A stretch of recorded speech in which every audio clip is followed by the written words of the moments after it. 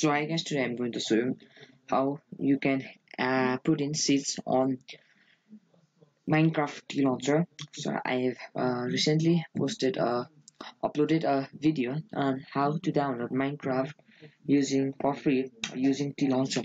So link will be given in the description box. Go and check it out from there. So I'm going to create a new world and I'm going to uh, go and choose I'm going to creative I'm going to choose creative. And after doing that you want to add seeds uh seeds you have to go to more option. I'm going to put in um seven nights. So seven nights when you put in seven nights you will be spawned in a village. So create a new world. I'll be back when it is done so hi guys. Uh, just open the world. I'm sorry about that. So uh, as i told you when you type in seven nines you will be located in a village. So here it is a village.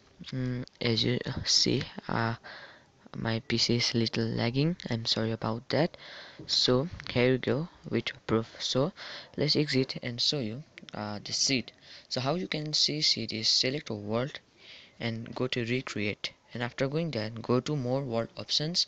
And here we go.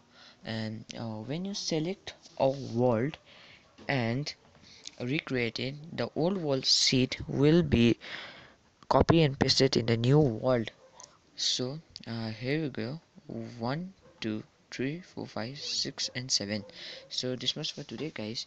If you like my video please share subscribe and comment down below which video you want next.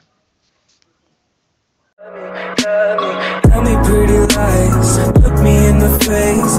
Tell me that you love me, even if it's